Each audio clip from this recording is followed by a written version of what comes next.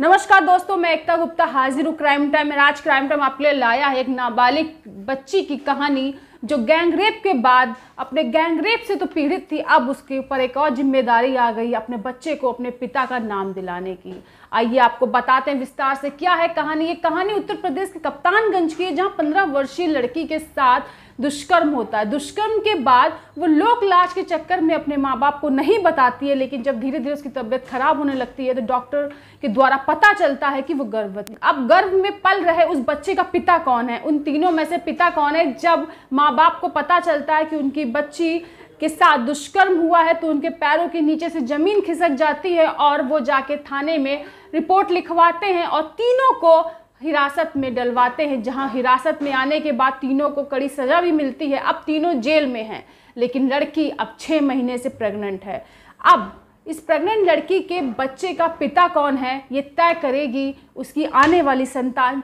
जब पुलिस ने तहकीकात करी और जाना कि कैसी घटना अंजाम हुई, कैसी घटना घटी तो पता चला लड़की घास काटने गई थी। उस दौरान ही उसके साथ दुष्कर्म हुआ। दुष्कर्म के बाद उस रेप पीड़िता ने लोक लाज के चक्कर में किसी को कुछ ना बताया और जब वो छः महीने की प्रेग्नेंट हो गई, उसके बाद जब ये केस पुलिस के सामने आया तो बस इंतज़ार है कि जब बच्चे का जन्म होगा, उसके बाद ही उसके बच्चे के पिता का नाम भी तय होगा। नज़र डालते हैं, आपको विस्तार से बताते हैं उत्तर प्रदेश के कप्तानगंज की ये कहानी, रेप पीड़िता की जुबानी।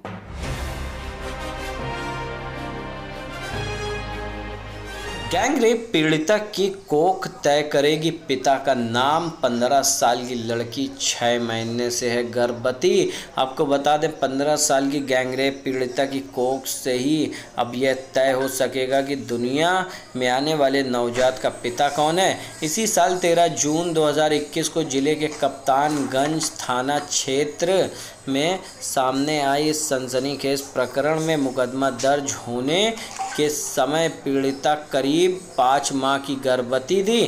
किशोरी की जान खतरे में न पड़े, इस वजह से गर्भपात नहीं हो सका। गैंग रेप के आरोप में गाँव के तीन युवकों को जेल भेजा जा चुका है। किशोरी के गर्भ में पल रहे बच्चे का पिता कौन है, इसका पता डीएनए जाँच से ही चलेगा। कप्तानगंज थाना क्षेत्र की रहने वाली किशोरी के साथ गैंग रेप की घटना से पहले उसके अभिभावक भी अनजान थे। जून 2021 के दूसरे सप्ताह में दिक्कत होने पर परिजन उसे अस्पताल ले गए तो पता चला कि वह गर्भवती है। तभी उसने बताया कि 5 जनवरी 2021 को शिवान में जब वह घास काटने गई थी तो गाँव के तीन युवकों ने उसके साथ दुष्कर्म किया था। उनके डर से वह चुप रही और इसकी जानकारी किसी को नहीं दी। इसके बाद पीड़िता के पिता ने पुलिस में तहरीर दी। पुलिस ने गाँव के ही रहने वाले ब्रिजेश निषाद, गोरख व प्रदीप के खिलाफ गैंगरेप धमकाने व पॉक्सो एक्ट के तहत मुकदमा दर्ज किया। आरोपितों को गिरफ़्तार कर जेल भेज दिया गया। पीड़ितों का मेडिकल कराया गया तो उसके पेट में पल रहा गर्भ।